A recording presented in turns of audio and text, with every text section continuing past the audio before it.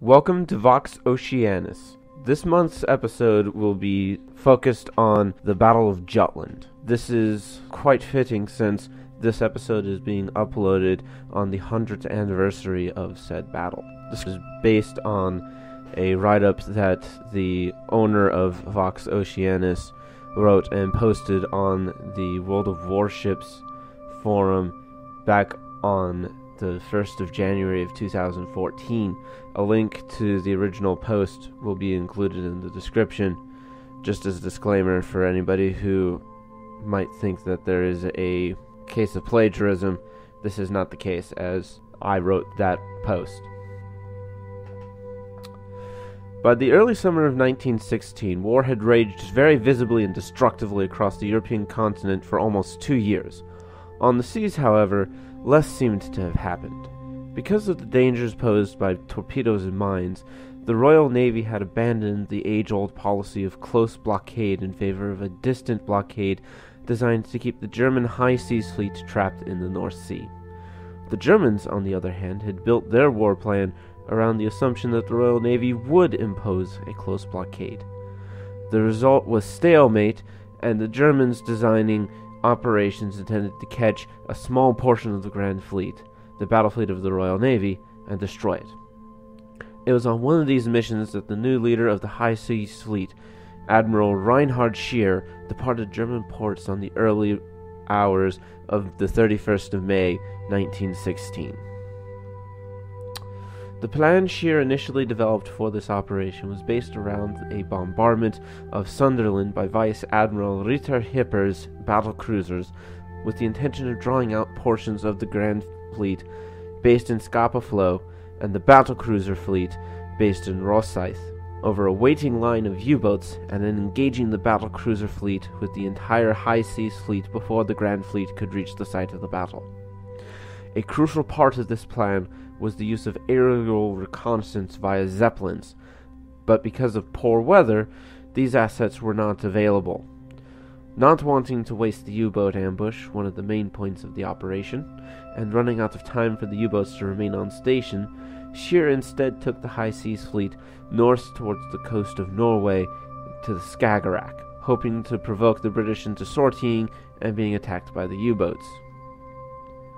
The Grand Fleet, read by Admiral John Jellicoe, had already put to sea en masse the evening before the High Seas Fleet. The Grand Fleet had been warned of the impending German sortie and prepared a trap of its own in response. The source of this information was a section of the Admiralty known as Room 40, which had been set up at the beginning of the war to break German wireless codes.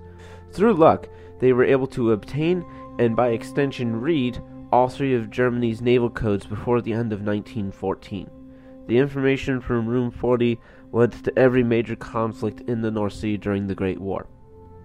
At 1248, on the 31st of May, however, a blunder was made by the Admiralty when a message was sent to Jellicoe stating that the High Seas Fleet was still in the Jade, implying that only Hipper's battle cruisers were at sea. When the High Seas Fleet was spotted later that day, the result was an erosion of the confidence in the information from the Admiralty. By 2:40 on the afternoon of the 31st of May, both battle cruisers forces spotted a plume of smoke and sent light cruisers to investigate. The cause of the smoke was a Danish freighter, but this caused both sides to come into contact with each other. In response, Vice Admiral David Beatty, the dashing and impetuous commander of the British battle cruiser fleet, turned his fleet from its northerly course to the southeast to cut off the German ships from their bases, even before knowing the f- extent of the forces opposing him.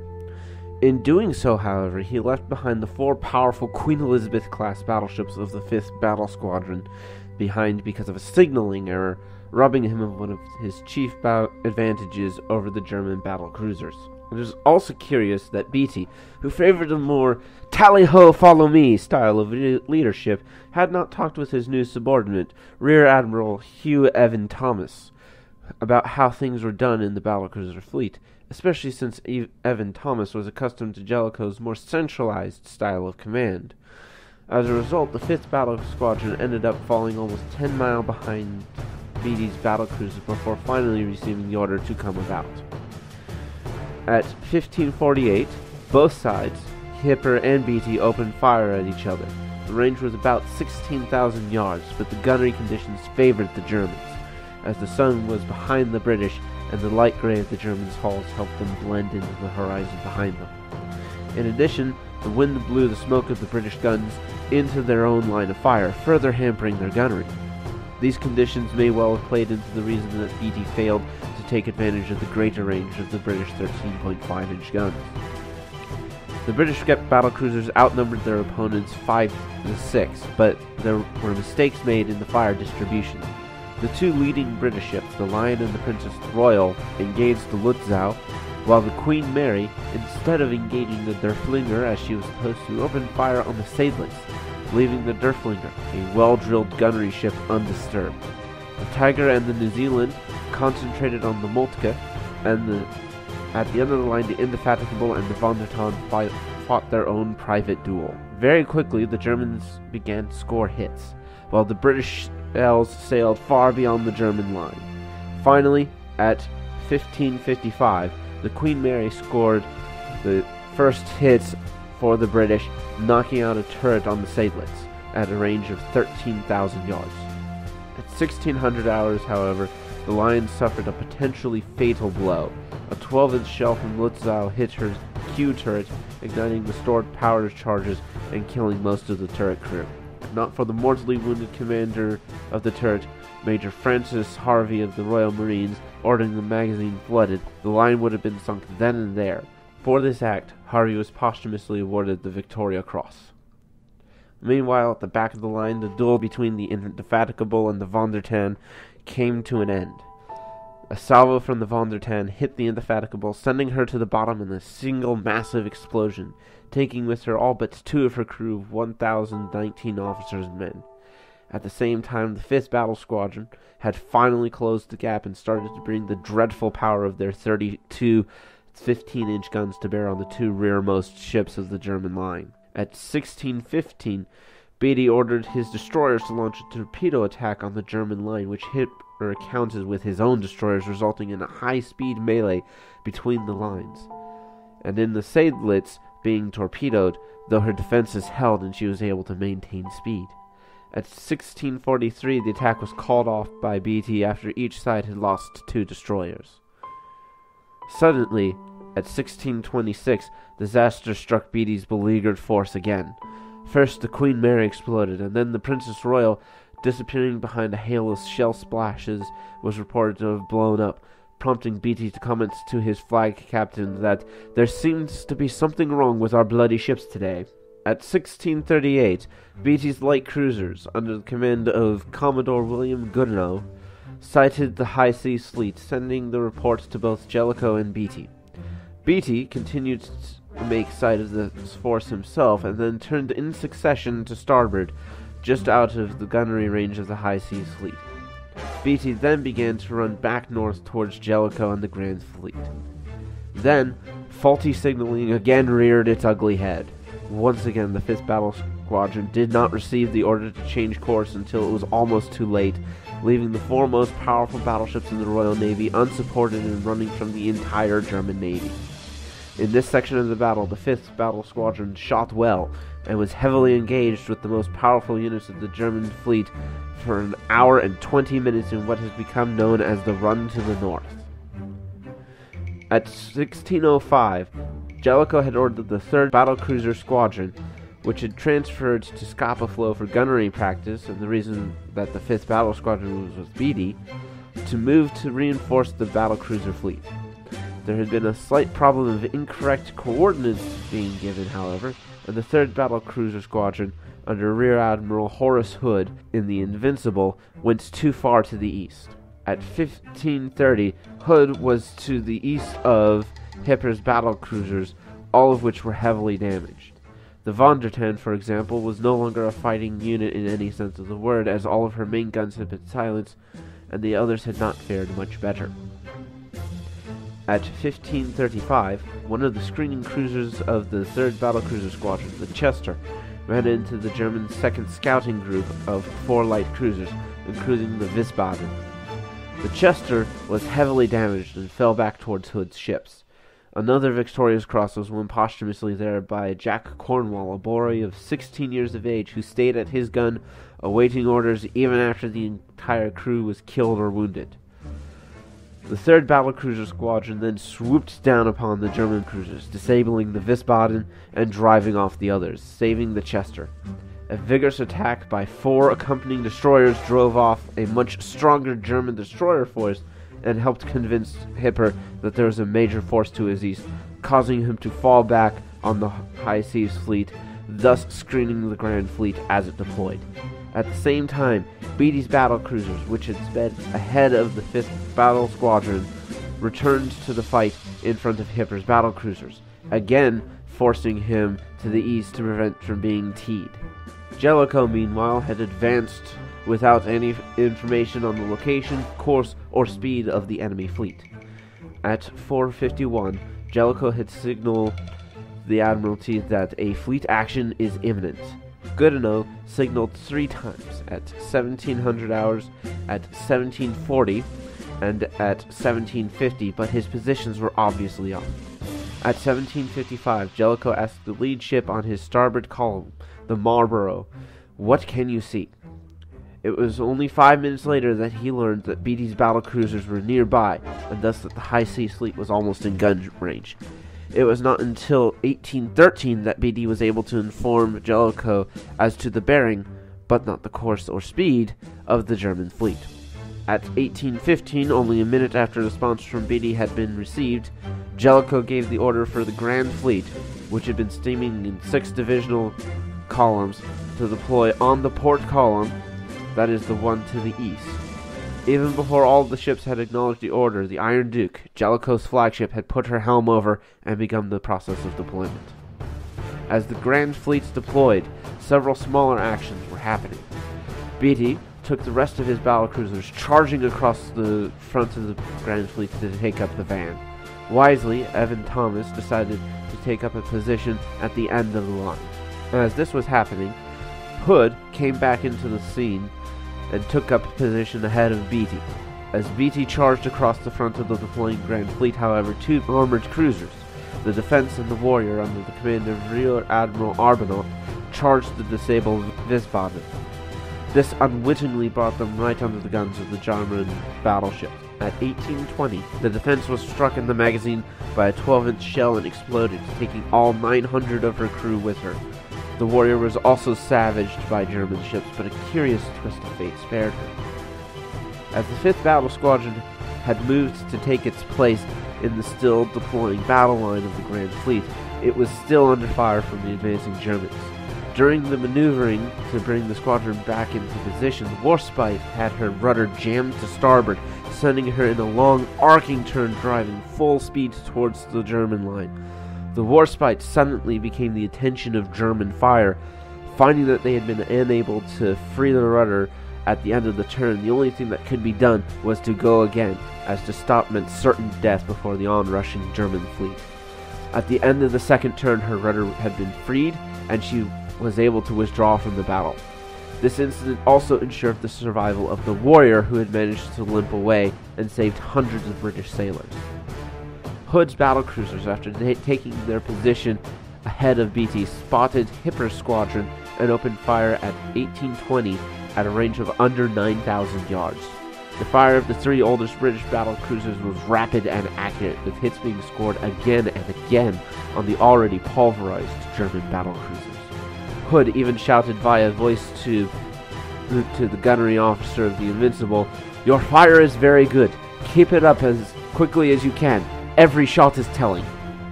The British ships were hidden by the mist, hampering the Germans' ability to return fire. At 1829, however, the mists parted and revealed the Invincible right in front of the Germans, silhouetted against the horizon.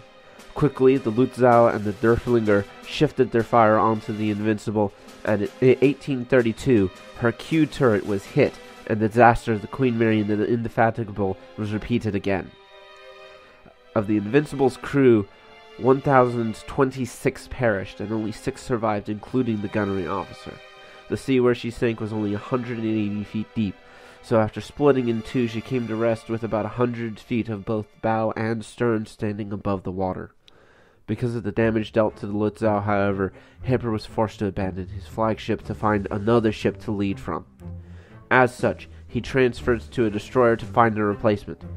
Because of the damage sustained uh, by his force and the pace of the action, it would not be until 2200 hours that Hipper would again be in charge of his force.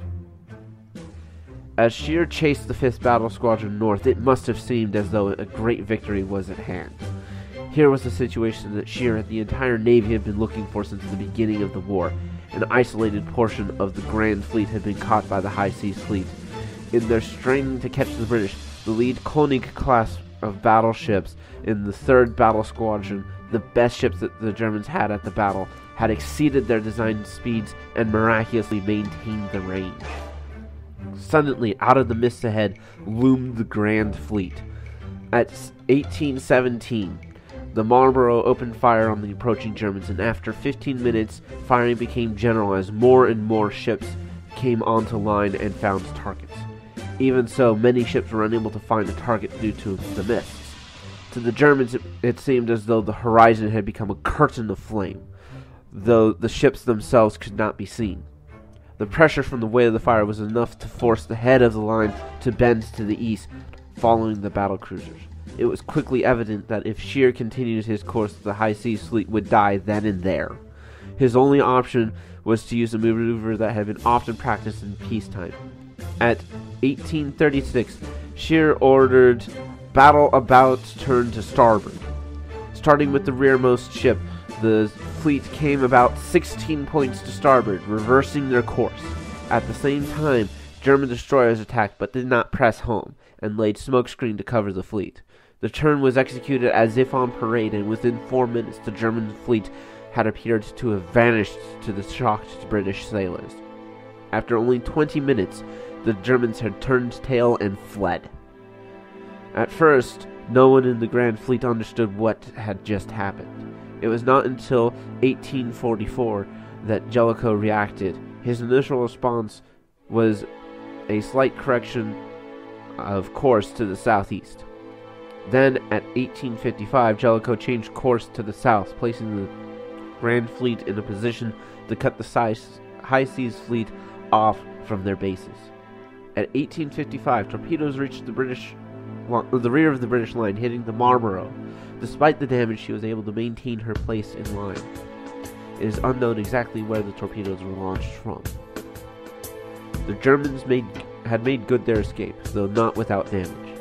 Then, suddenly, Scheer again ordered the fleets to turn around at 1855.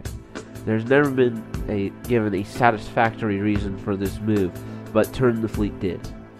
At 1910, the head of Scheer's fleet had was sighted again by the Grand Seas Fleet, and by 1915, the entire fleet had opened fire.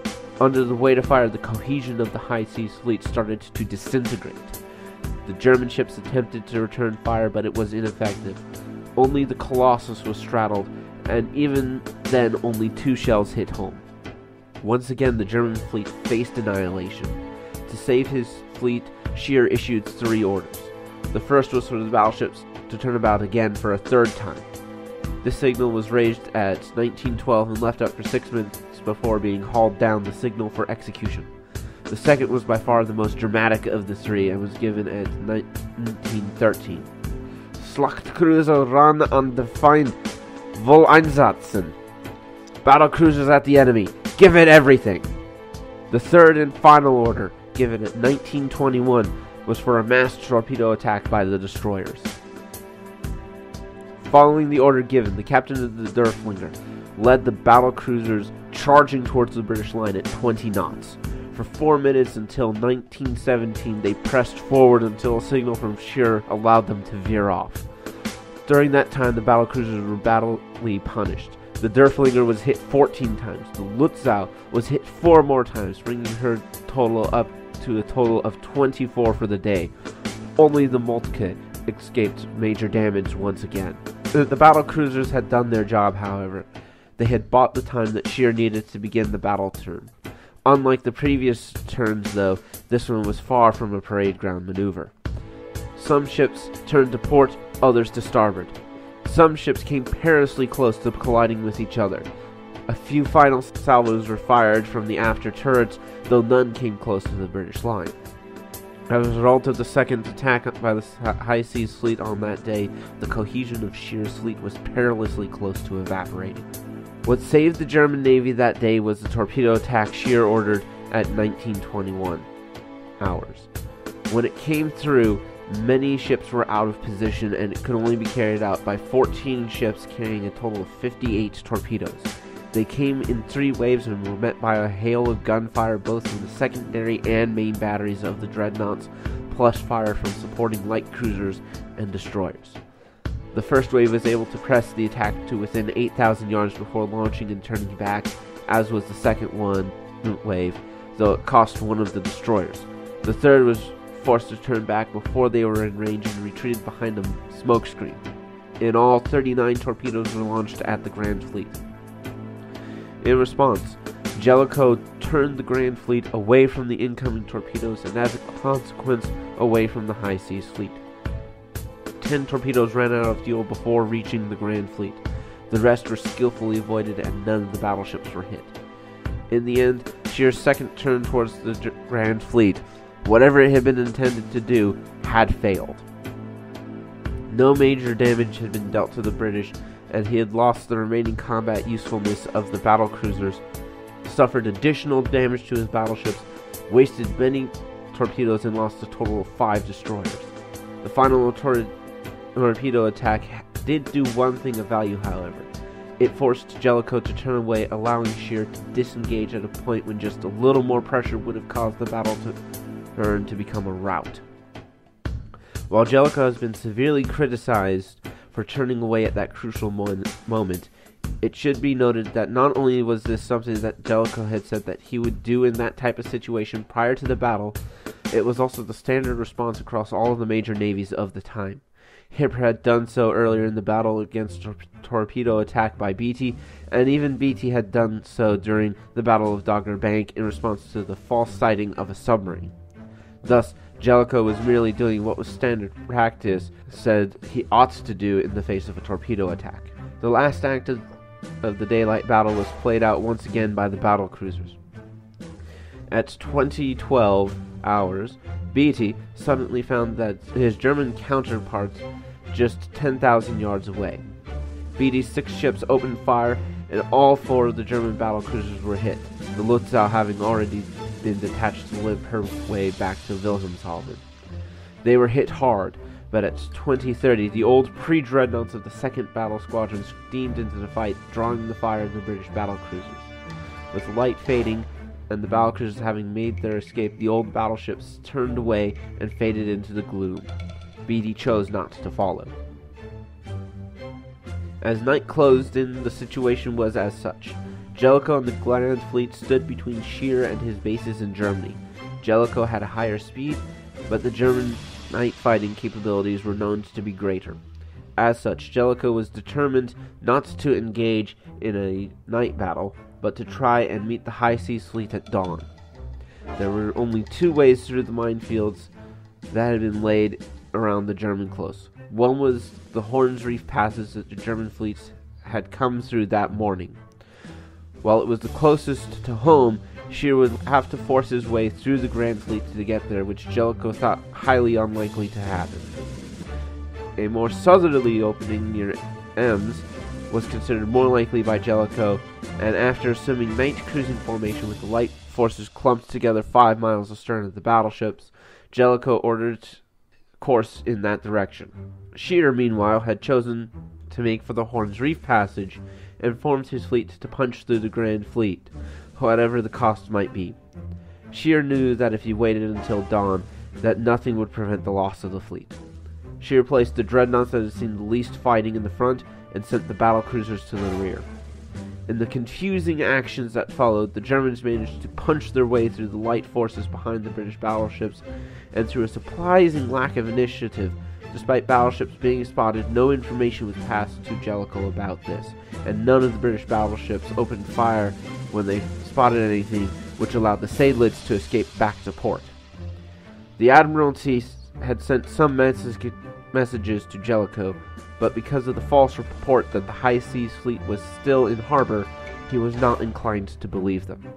One message that was not passed along, however, was the one that showed that Scheer had asked to have dawn reconnaissance by Zeppelins over the Horns Reef. Had Jellicoe been sent this, combined with the other messages sent him in the firing heard astern, he would have been able to piece together that the true direction of the High Seas Fleet was towards the Horns Reef. If Jellicoe had been at Horns Reef at John on the 1st of June 1916, it is hard to see how the German fleet could have survived the day. The battle ended with heavy losses on both the British side and the German side. The British losses were three battle cruisers, three armored cruisers, eight destroyers, lost 6,094 men killed in action, 674 men wounded, and 177 prisoners of war. The Germans had lost one battle cruiser, one pre dreadnought, four light cruisers, five destroyers with the loss of 2,551 men killed in action, 507 wounded, while losses seem to tell the story of a German victory, and it was loudly hailed as such in Germany, a closer look at what had been lost and the bound power after the battle tell a very different story.